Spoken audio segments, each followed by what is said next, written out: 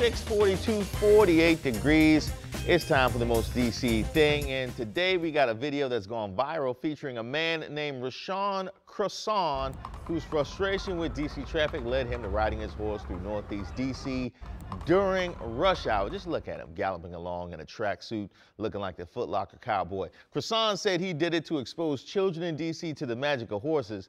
Yeah, that and free yourself uh, from the dangers of traffic. I'm inclined to agree because where are you going to park a horse for eight hours? No garage is going to feed that thing carrots and shovel up poop while you're working on spreadsheets. Still, this type of creativity and ingenuity is definitely the most DC thing I've seen in quite some time. So Rashawn Croissant, I tip my non-existent cowboy hat to you. If you see a most DC thing, hit me up on social media. I'm at Reese Waters on Twitter, Facebook, and Instagram, or email rwaters at WUSA9.com. And don't forget to use the hashtag GetUpDC.